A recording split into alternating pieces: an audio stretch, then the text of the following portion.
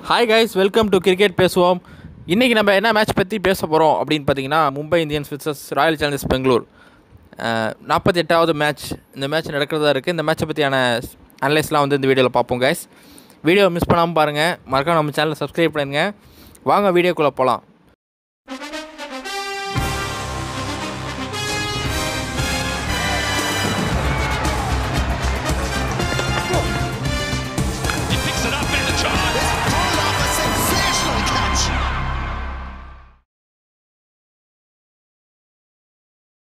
இப்போ இந்த ரெண்டு பேரை பொறுத்த வரைக்கும் பார்த்தீங்கன்னா இது வரைக்கும் ரிவர்ஸ் ஃபிக்ஸரில் நம்ம ஏற்கனவே பார்த்துருப்போம். ஒரு நல்ல ஒரு சூப்பர் ஓவர் நல்ல ஒரு காம்படிஷனாக இருந்திருக்கும். மும்பைக்கும் ஆர்சிபிக்கும் நடந்த மேட்ச்சு இப்போ அதே மாதிரி இப்போ இந்த இது மேட்ச் வந்து எங்கே நடக்கிறதா இருக்குது அப்படின்னு பார்த்தீங்கன்னா அபுதாபி ஸ்டேடியம் அதுக்கு முன்னாடி இவங்க ரெண்டு பேரும் இது வரைக்கும் எட்டு எவ்வளோ ஆடிருக்காங்கன்னு பார்த்தீங்கன்னா இவர் இருபத்தாறு மேட்ச் ஆடிருக்காங்க. அதில் மும்பை வந்து பதினாறு மேட்சும் ஆர்சிபி வந்து பத்து மேட்சும் ஜெயிச்சிருக்காங்க. மும்பை தான் அதிகமாக சக்ஸஸ் ஆகிறான்னு சொல்லியிருக்கலாம். இப்போ இந்த மேட்ச் அபுதாபி ஸ்டேடியம் நடக்கிறதுனால இந்த போன மேட்ச் வந்து துபாயில் ஆடிருந்தாங்க இந்த மேட்ச் வந்து அபுதாபி ஸ்டேடியமில் ஆடுறாங்க.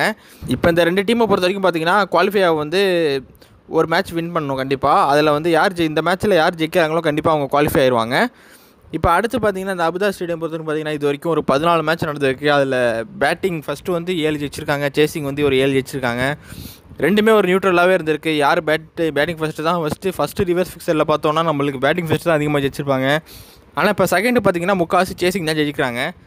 எனிவே இந்த நியூட்ரலாக தான் இந்த பிச் இருக்குன்னு சொல்லலாம். அதனால் வந்து யாருக்கு ஃபேவர்லாம் சொல்ல முடியாது. ஏழு மேட்ச் வந்து பேட்டிங் வச்சு ஜெயிச்சிருக்காங்க. ஏழு மேட்ச் சேசிங் ஜெயிச்சதுனால கண்டிப்பாக நியூட்ரலான பிச்சாக தான் இருக்கும். இந்த மே இந்த பிச்சிலே பார்த்தீங்கன்னா இது வரைக்கும் மும்பை வந்து எவ்வளோ ஆடிருக்காங்கன்னா ஏழு மேட்ச் ஆடிருக்காங்க. அதில் வந்து அஞ்சு மேட்ச் ஜெயிச்சிருக்காங்க. ஆர்சிபியை பொறுத்த வரைக்கும் ரொம்ப கம்மியாக தான் ஆடிருக்காங்க. ஆர்சிபி விளாண்டது அதிகமாக பார்த்தீங்கன்னா துபாய் ஸ்டேடியம் தான் அதிகமாக ஆடிருக்காங்க. இந்த பிச்சில் வந்து அவங்களுக்கு வெறும் ரெண்டு மேட்ச் ஆடிருக்காங்க. அதில் ஒன்று ஜெயிச்சிருக்காங்க ஒன்று தோற்றுருக்காங்க மும்பையை பொறுத்த வரைக்கும் இந்த பிச்சை பற்றி நல்லாவே தெரியும். அதனால் எந்த அளவுக்கு யூஸ் பண்ணியிருக்காங்கிறத நம்ம கண்டிப்பாக எதிர்பார்க்கலாம். இப்போ எனக்கு தெரிஞ்ச அனலிஸ்ட்லாம் உங்களுக்கு சொல்லிட்டேன். இப்போ ரெண்டு டீம்லேயும் என்ன மாதிரியான ஒரு டீம் எடுப்பாங்க அப்படின்னு பார்த்தீங்கன்னா ஆர்சிபியை பொறுத்த வரைக்கும் கண்டிப்பாக அதே டீம் தான் எடுப்பாங்க. மும்பையிலும் அதே மாதிரி தான் டீம் எடுப்பாங்கன்னு நான் நினைக்கிறேன். ஏன்னா கண்டிப்பாக ரெண்டுமே ரெண்டு பேருமே வந்து நல்லாவே விளாண்டுருக்காங்கன்னு சொல்லலாம். அதனால் வந்து அதே மாதிரி டீமை தான் எடுப்பாங்கன்னு நான் நினைக்கிறேன். இப்போ எனக்கு தெரிஞ்ச அனலிஸ்ட் சொல்லிட்டேன் உங்களுக்கு. இப்போ அடுத்து பார்த்தீங்கன்னா எப்போதும் சொல்கிற மாதிரி ட்ரீம் லெவன் ப்ரொடக்ஷன் டீம் வந்து நான் உங்களுக்கு கொடுக்குறேன். இப்போ இந்த ட்ரீம் லெவனை பொறுத்த வரைக்கும் பார்த்தீங்கன்னா கண்டிப்பாக நம்ம ஆர்சிபியை பொறுத்த வரைக்கும் பார்த்தீங்கன்னா ஏபிலியர்ஸை விக்கெட் கீப்பராக நம்ம எடுத்துக்கலாம். அடுத்து மும்பையை பொறுத்த வரைக்கும் கண்டிப்பாக ரெண்டு விக்கெட் கீப்பர்ஸ் வேணும். கண்டிப்பாக டிகாக்கும் அப்புறம் இஷான் கிஷன் ரெண்டு பேருமே எடுத்தாகணும். கீப் விக்கெட் கீப்பர்ஸ் பொறுத்த வரைக்கும் பார்த்தீங்கன்னா இந்த மூணு பிளேயரும் முக்கியமாகவே தேவைன்னு நான் சொல்லுவேன். அடுத்து பேட்ஸ்மேனை பொறுத்த வரைக்கும் பார்த்தீங்கன்னா ஹர்திக் பாண்டியா அப்புறம் பார்த்தீங்கன்னா ஆரன் ஃபின்ச் அப்புறம் விராட் கோலி மூணு பேருமே நல்ல பேட்ஸ்மேன் தான். அதனால் மூணு பிளேயருமே நான் எடுத்துக்கிறேன். அதுக்கும் ஆல்ரவுண்டர்ஸ் முக்கியமாக பார்த்தோன்னா கேரன் போலாட் அப்புறம் வந்து கிறிஸ் மோரிஸ் ரெண்டு பேருமே ரொம்ப முக்கியமான பங்களிப்பு இருப்பாங்க. கண்டிப்பாக இந்த மாதிரியான ஒரு இதாக எடுத்ததுக்கப்புறம்.